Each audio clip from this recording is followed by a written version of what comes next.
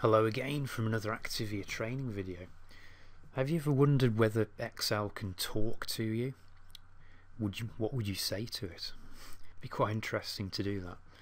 Well Excel can speak.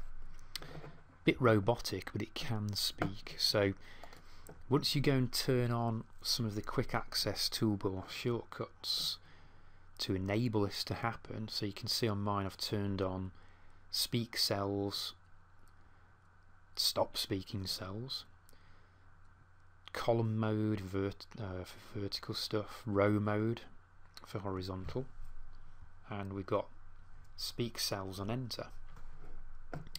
So if I activate that first button here, speak cells. Sales. 400 pounds, 550 pounds, 250 pounds, 199 pounds.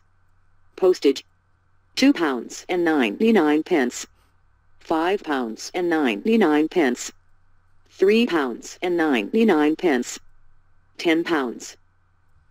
So you can see it's quite a robotic process, but it it's audible. You can understand what's what the voice is saying there. Same with text. If I move on to this text, if we do speak cells, This is some text.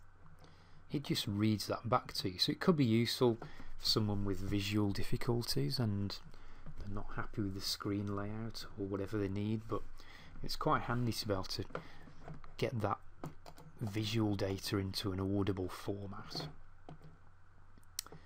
This button here, speak cells on enter. Cells will now be spoken and enter.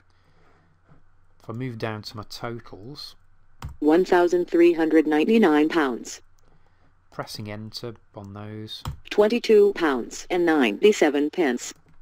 Total it speaks when you press enter. So don't forget to add those in from the quick access toolbar. You'll need to go off and find those. If you need to know how to do that, you can attend one of our Excel intro training courses. I've added them into the toolbar, so I need to switch that mode off. Just turned off speak on enter. Click the button to turn it back off. Okay, I hope you've enjoyed this quick training video on how to get Excel to talk to you. We'll see you again soon on another Activia training video.